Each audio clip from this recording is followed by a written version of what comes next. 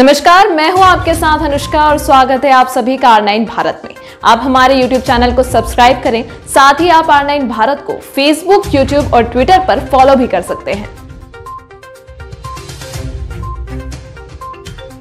भारत के संविधान निर्माता, महान चिंतक व समाज सुधारक डॉक्टर भीमराव अंबेडकर की जयंती पर ऑल इंडिया अनुसूचित जाति, अनुसूचित जनजाति रेलवे कर्मचारी एसोसिएशन में मुख्य रूप से मालदा डीआरएम यतेंद्र कुमार एवं नगर पालिका के प्रांगण में विधायक अनंत कुमार ओझा ने बाबा साहेब अंबेडकर की प्रतिमा पर माल्यार्पण कर नमन किया। वहीं यतेंद्र कुमार ने कहा कि बाबा साहेब के नाम से मशहूर अंबेडकर का जन्म 14 अप्रैल सन अठारह सौ इक्यानवे में मध्य प्रदेश के महू में हुआ था। उन्होंने समाज में समानता लाने के भरसक प्रयास किए। वो दलितों या भारत के पिछड़े वर्ग के लोगों के महान नेता थे। उन्होंने अपना पूरा जीवन दलित उत्थान के लिए समर्पित कर दिया। वो बेहतरीन न्यायविद व अर्थशास्त्री भी थे, जिन्होंने भारत के संविधान का मसौदा तैयार करने वाली समिति का नेतृत्व किया।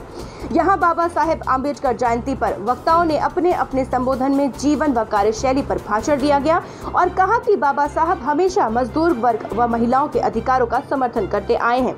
इस मौके पर सम्मान समारोह, संस्कृति कार्यक्रम भी आयोजित हुआ। सक्षम नहीं हो सकते। जब शिक्षित बनेंगे, तभी आपको संगठन में कार्य करने की क्षमता बनेगी। संगठन रहेगा तो आप कोई भी संघर्ष करेंगे, मन की शांति के साथ, कोई बिना द्वेष भावना के साथ। तो इसी के साथ जैसे बाबा साहब ने का जीवन बहुत संघर्षरत रहा, सभी लोग जानते हैं, हम कुछ कहने का हमें ज़रूरत नहीं है।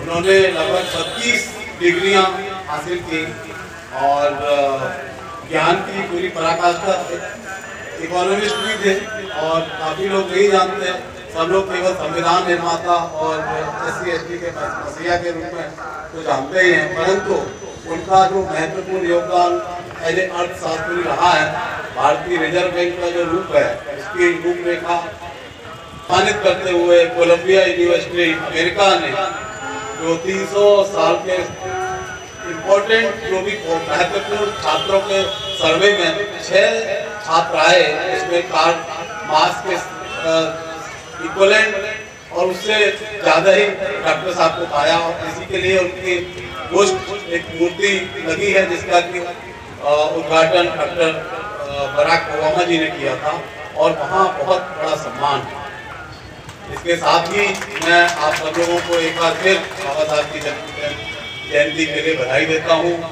और आशा करता हूँ कि आप लोग भी अपना पूरा संघर्ष, संगठित और शिक्षित रह के अपना शांतिपूर्वक जो भी है, अपने समाज को, अपने उसको पूरा उठाएँगे और देश के निर्माण में अपना योगदान साहिबगंज झारखंड से सहेंद्र प्रसाद की रिपोर्ट आर भारत। नमस्कार मैं हूँ आपके साथ अनुष्का और स्वागत है आप सभी का आर नाइन भारत में। आप हमारे YouTube चैनल को सब्सक्राइब करें साथ ही आप आर नाइन भारत को Facebook, YouTube और Twitter पर फॉलो भी कर सकते हैं।